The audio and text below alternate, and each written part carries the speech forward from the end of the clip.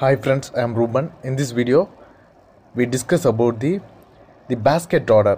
Basket order means it is a new type of order. It is introduced by Zerodha. Uh, It was introduced in uh, 2020 and currently it is available only in Kite Web, not in mobile. This one will update in the mobile platform and the next one is there's a restriction. What are the restrictions for basket order? A maximum of 20 orders can be added to the basket. It means you have to add 20 orders. Means you have to select the particular stock to buy or sell. You have to maximum is 20 you can buy or sell. For example if you select a reliance share you can select 10 quantity to buy. And then next you have to select the hdfc stock for buy 20 quantity means you have to add like that different stocks. The maximum is 20 numbers. And the next one is a maximum of 20 baskets can be created on one client id it means your limit for one client id means one user can use maximum of 20 baskets. In 20 baskets you can add 20 orders. And the next one is the futures. What is the futures of basket order?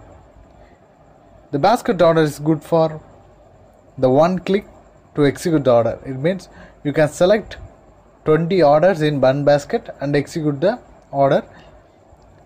It will triggered in the current market or if you select in market price or if you select in limit price the order will execute. And then next one is duplicate the existing order in the basket. It means you can duplicate the existing order. For example if you buy 100 quantity of reliance share at the price of 2000 means that order you can duplicate for another order. You can change into different quantity. And then next one is replace the cancelled order. Before you can trade any order then it was cancelled means you can replace that order to the in the basket so it is careful to save your time. And the next one is minimize the basket order icon to edit in the background. It means it is small icon in the display. You can e- edit it in the background. So it is easy to access. And the next one is you can buy and sell the different shares at the same time.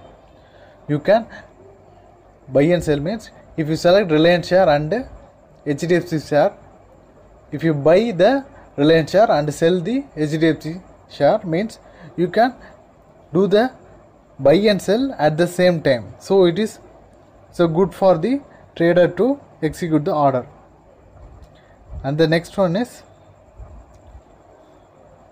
pros. What are the pros for the basket order here the pros are time saving. Because you can execute the 20 orders in one basket. So the time is saved. If the ordinary order means you have to select each order type and then you have to execute. But here you can execute the order at the same time. So it is very helpful for the trader to save the time and then own portfolio strategy. It means the every trader have own strategy own stocks own portfolio. It means you can select different stocks in the different sectors. For example energy stock energy sector means you can select energy sector particular stock and then you can select bank sector means you select bank sector. And then you have to combine that different sector into one portfolio in a one basket. That is a portfolio strategy. And then cons. Till no because it is new order type so the time will decide because the trader will use that order and then they will review in the their reviews. So and then conclusion the bracket order is a good order to the trader to execute the different stocks at the same time. You can execute both buy and sell i already told. That is a huge plus to the trader. So you can execute the buy and sell at the same time. So that is a plus for the trader. I congrats to the zerodha team for the innovation and the new ideas because in india the zerodha is the number one stock broker because they have created new ideas and innovative discovery of new ideas. So they are the number one in the market.